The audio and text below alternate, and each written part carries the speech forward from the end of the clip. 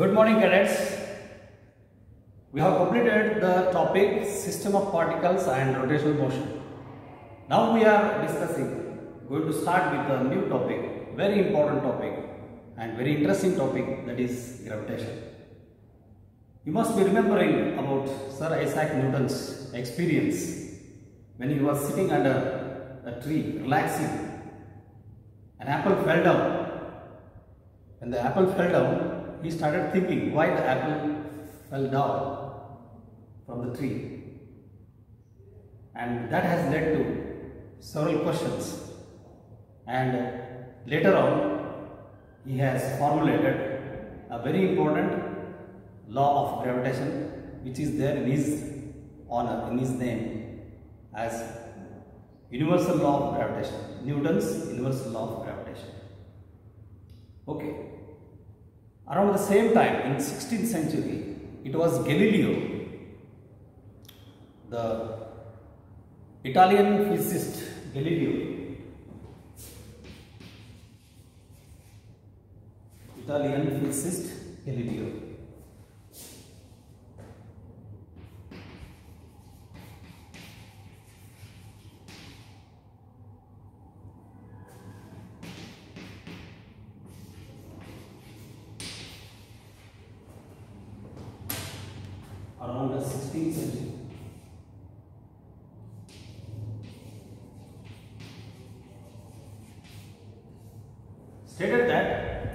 Object, whenever dropped from certain height, they all accelerate towards the earth. Every object, whenever it is dropped from certain height, they all accelerate towards the surface of the earth. So, this is because of some force which is acting on all these objects. And later on, Galileo could perform certain experiments and uh, with the help of the rolling, rolling of uh, the bodies, rolling bodies around the inclined plane, down the inclined plane and uh, with certain objects dropped from certain heights, he could, act, he could find out the value of acceleration due to gravity. So, Galileo was the first person to measure, to calculate the acceleration due to gravity. And the term gravity relates to earth, the force of attraction exerted on all the objects by the earth is called as gravity. The force of attraction exerted by the earth on all the objects on it is called as gravity. So gravitation is a broader aspect. Gravitation is in general being used that we learn in this topic. Gravity is related to our earth. So it was Italian physicist Galileo in the 16th century, with the help of his own experiments, demonstrated in front of the public and could find out the value of acceleration due to gravity. Any object which is dropped from certain height, it always accelerates towards the surface of the earth. And what is the value of that acceleration was first found out by Galileo. Later on, with uh, several modern experiments, the value which was calculated by him was almost equal to the present value of acceleration due to gravity 9.8 meter per second square. Right? This is related to Earth. Then the same gravitation which is uh, done with respect to Earth was also related to the celestial bodies. We see there are several planets in the solar system. These planets revolve around the sun. These are all the things that we have already learnt. Previously also, thousands of years before, people were observing and there were scientists and mathematicians who were very curious about the stars, satellites, moon, planets and whatever they are there in the night sky. So they were all very much curious about it. So around 2000 years before, 2000 years before,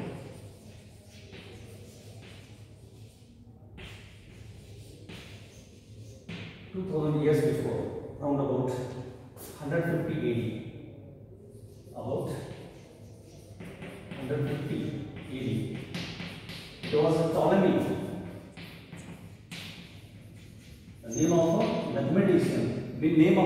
mathematician and scientist, Ptolemy, who found out a very interesting uh, fact that he stated that Earth is the center for all these motion of stars, planets, sun, moon, everything.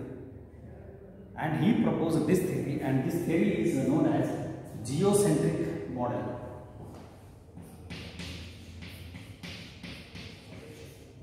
Geocentric geocentric model means geocentric theory. Geo means earth. Geo means earth. Earth at the center. He stated that earth is the center. He could observe every day. We also observe the motion of stars. From time to time, if you observe in the night, night sky, if you locate the stars, planets, every one hour if you observe, you will find that they are changing their positions. They are shifting from one position to another position. So that made him think that almost all the stars, you know, they always move from east to west. Almost all the stars, including our sun also, they move from east to west. Right? Now we know that it is because of the fact that earth revolves from west to east. Earth rotates around its own axis from west to east. That's why the sun appears to be moving from east to west. Same way, even the stars, if you observe carefully in the night, hour by hour, late night, you will find the stars appearing to be shifting and they also appear to be moving from east to west. So, based on these observations, Ptolemy proposed that Earth is the center of all these planets, stars, sun, moon and all these planets, stars, sun, moon revolve around the earth in their own complex circular orbits. That's what is called as geocentric model. Earth is the center.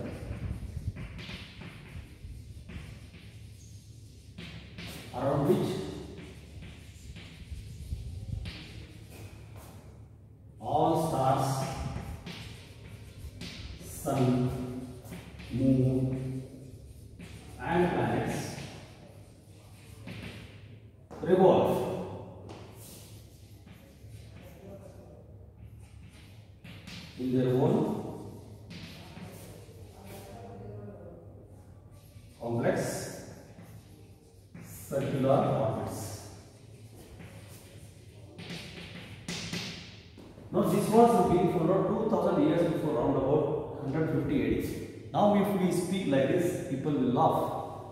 is not the center, we know that. Right? So this model, geocentric theory, geocentric model led people to think about it and people have all accepted yes it is true it went on for many hundreds of years it's very interesting and later on the heliocentric theory heliocentric model was already mentioned by aryabhatta our own indian uh, mathematician aryabhatta around 5th century ad in his treatise around 5th century AD.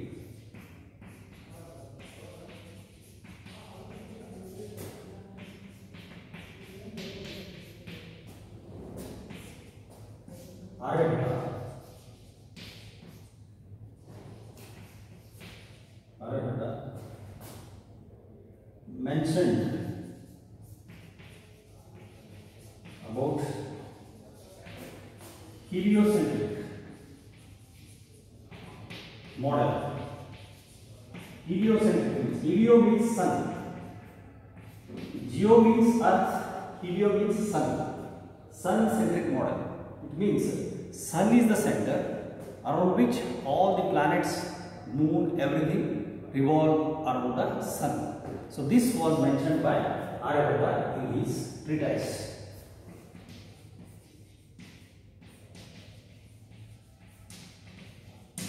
In his book, in his uh, um, theories, he has written about this.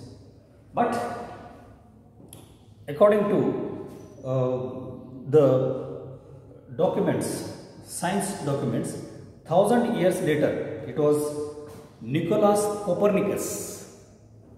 Thousand years later,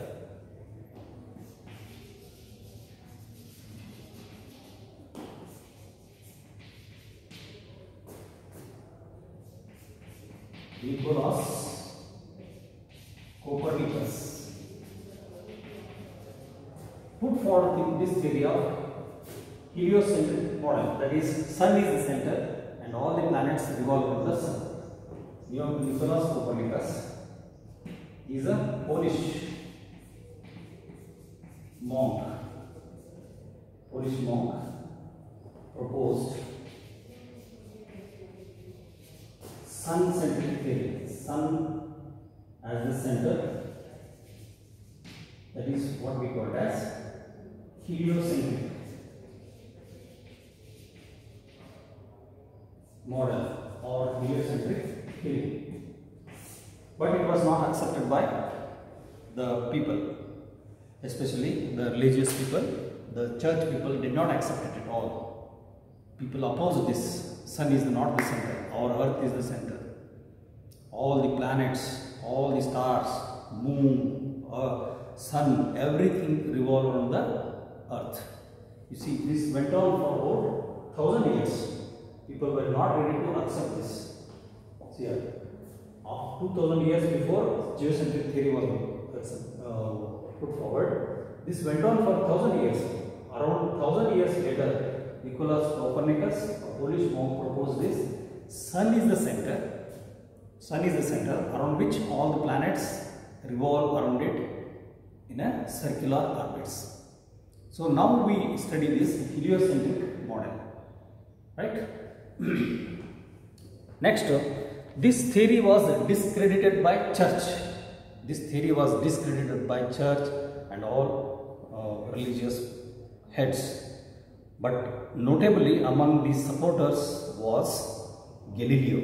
Around the same time Galileo was there. Notably around uh, the same time when this um, heliocentric theory was proposed, Galileo supported this sun-centric model. But because of this, you see, Galileo had to face prosecution from the state for his uh, beliefs. So, whatever Galileo has stated, Copernicus has stated, this is totally wrong. That was the belief. So, accordingly, Galileo was prosecuted and he was uh, made to go away from the state because of his heliocentric model since he supported this. Then next one more nobleman that we should remember always from Denmark, Tycho Brahe. Tycho Brahe from Denmark.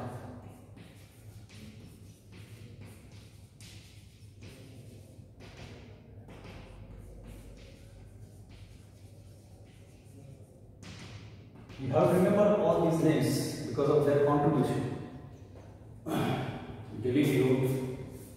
Ptolemy, then uh, Aryabhatta from our country, then Nicholas Copernicus, then now is Tycho Brahe.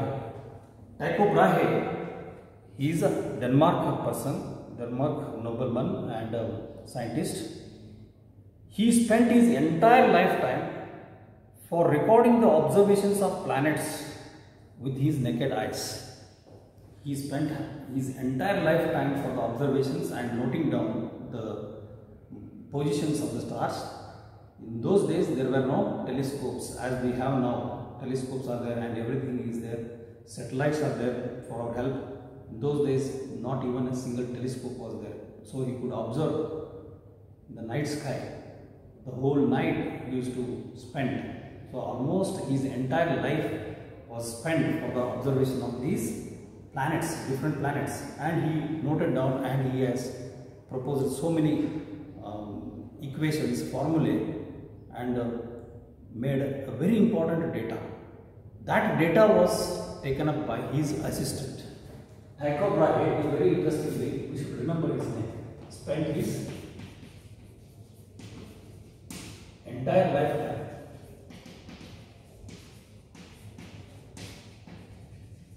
in recording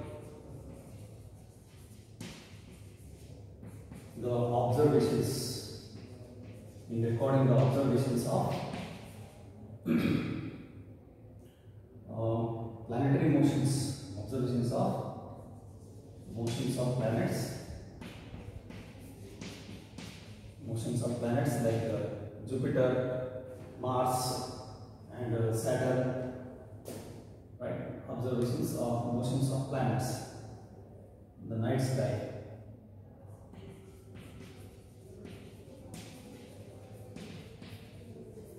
With his naked eyes, without any instruments.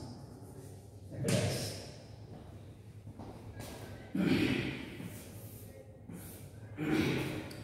So he could not conclude, but he was also having a strong belief that it is the earth as the center.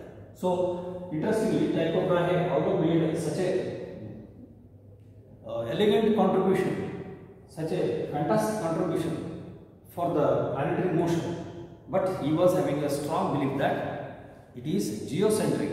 Earth is the center and all the planets and stars sun, moon revolve around the earth. That was his belief. But his assistant, Kepler, Johannes Kepler, his assistant, his student, Johannes Kepler.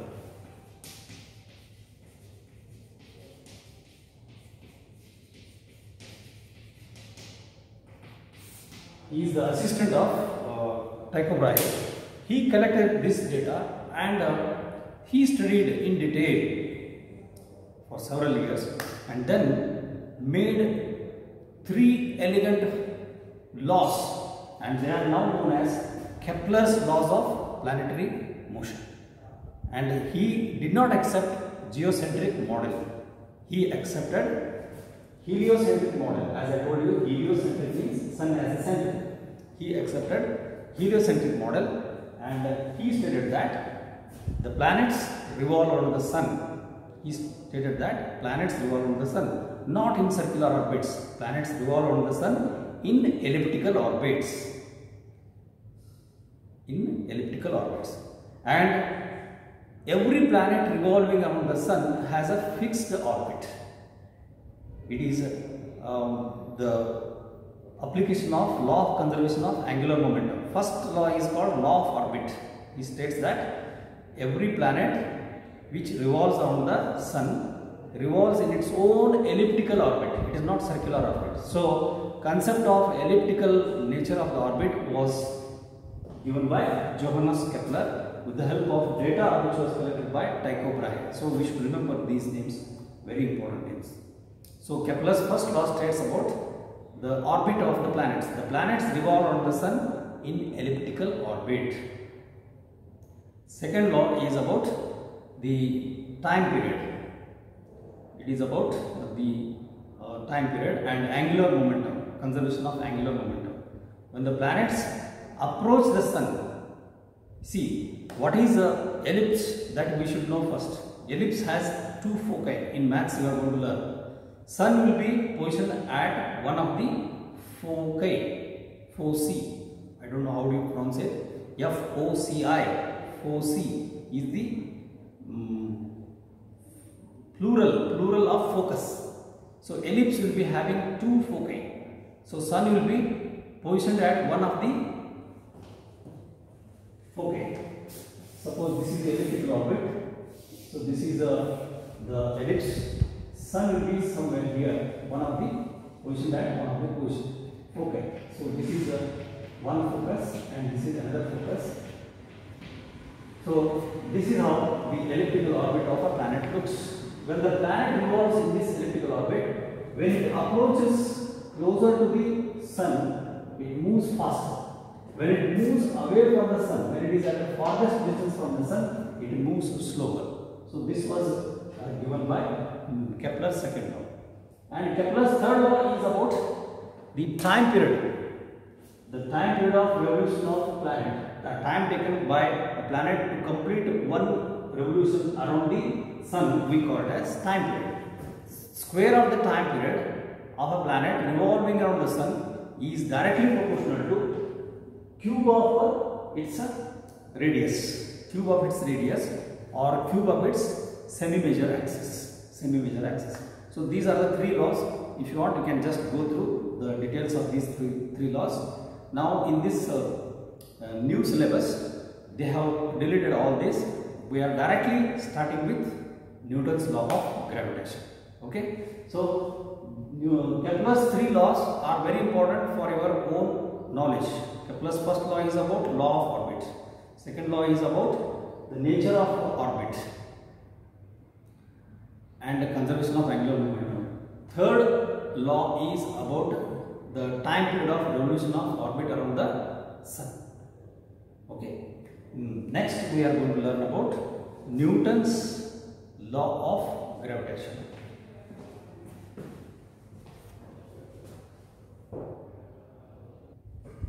Until now, just we discussed about the history, how the theories of gravitation were formulated.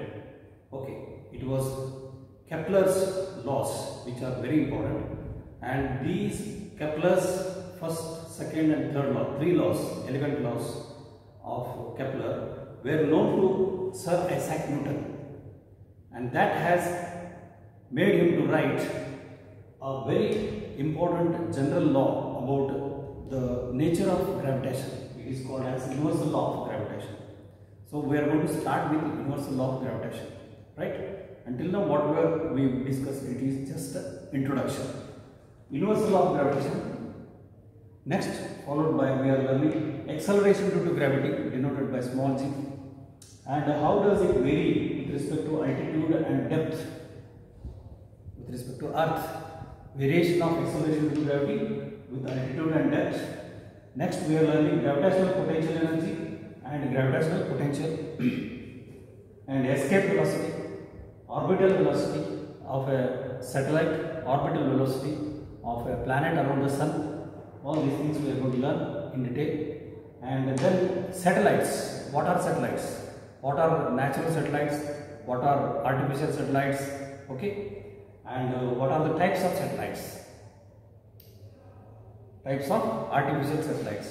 Polar satellites and geostationary satellites and their applications these are all the things that we are going to learn in this topic gravitation.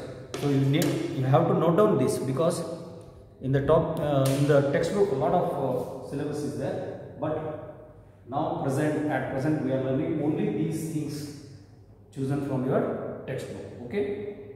So first of all universal law of gravitation. It is uh, formulated by newton. Sir isaac newton so it is called as newton's universal law of gravitation. So he had unified the gravitational interaction, gravitational attraction of the earth, that is gravity, and he unified the planetary motion of the planets, the motion of planets around the sun, and he unified and made one universal law. Universal law means it is applicable throughout the universe. There is one standard relation between the objects which are present in this universe that is force of attraction. The earth pulls the object. Whenever any object is dropped, the earth pulls that object towards its center. Means there is a force of attraction between that object and the earth. In the same way, why do the planets revolve around the sun? Why do the satellites revolve around the planet? So, he could unify this terrestrial observation with celestial observations. Terrestrial means related to earth. Celestial means related to the solar system and the sky. Related to the sky, the entire universe. So, he could unify the observations of uh, gravitation related to terrestrial observations and celestial observations and he could formulate a very important law. If you take any two objects in this universe, there exists always a force of attraction between those two objects. These two Uh, objects, they pull each other among themselves. They pull among themselves. It is a center to center force. If there are two objects, right? If there are two objects, this is second one and this is first one. The first object pulls the second object towards its center and the second object pulls the first object towards its center. So this is called a center to center force which exists between the centers of the two objects along the line joining the two centers. So it is called as the center to center force. So it is regarding that force. every object in this universe attracts every other object by a force whose magnitude is directly proportional to product of the masses and the force is inversely proportional to square of the distance between them which you have learned even in the ninth standard. Suppose these are the two objects M1 and M2 of different masses whose centers are separated by a distance where r is the distance of separation between the centers. then he stated that there exists a force of attraction. Suppose this is first object and this is second object. The first object pulls the second object towards its center. It exerts force of attraction on the second object towards its center. In the same way, the second object also pulls the first object towards its center. So this is called gravitational interaction. So this force is directly proportional to this force of attraction is directly proportional to the product of masses. What do you mean by directly proportional? As the masses increase, the force of attraction also increase. If the masses decrease in their magnitude, in their values, force of attraction also decreases. We do not observe this force of uh, gravitation among the ordinary objects because the masses which we are observing generally, although they may appear huge for our observation, but for the gravitational interaction to take place, the force is very very meager, very very less. So, in general cases, we do not observe in the case of objects which are of ordinary size, ordinary mass, we do not observe this gravitational force, but there exists gravitational force which is very very weak in its magnitude. The force of attraction is very very weak. So this force of attraction is directly proportional to the product of masses.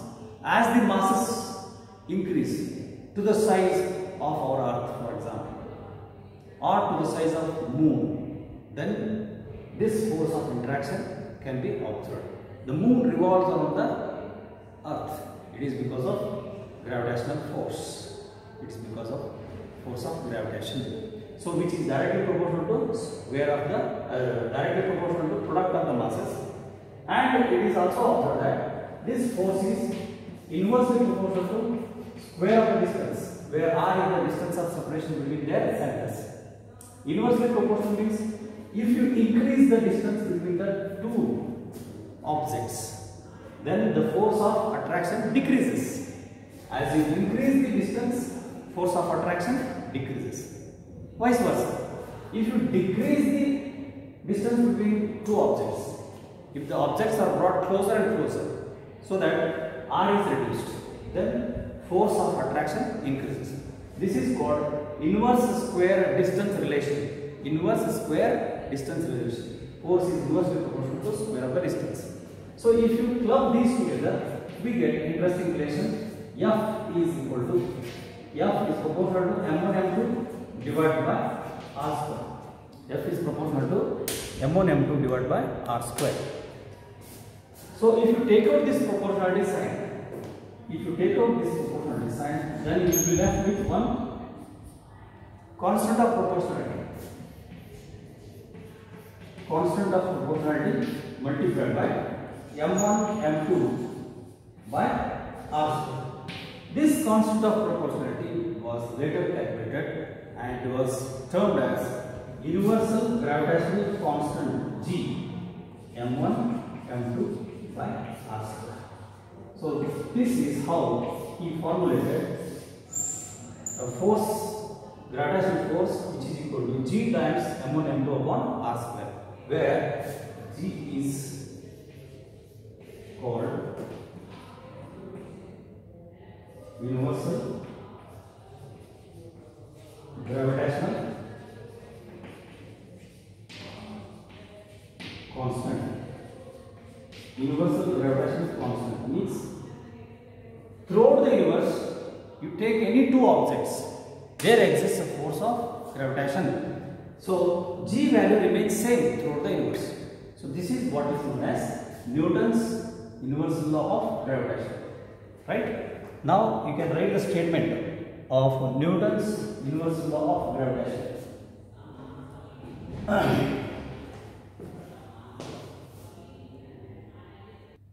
You can just quickly take down the statement. Every object in this universe attracts every other object with a force which is directly proportional to the square of the which is directly proportional to the product of the masses and inversely proportional to the square of the distance separating their centers. Okay, this is universal law of gravitation. The vector form of this universal law of gravitation we will study it tomorrow. Thank you. Have a nice day.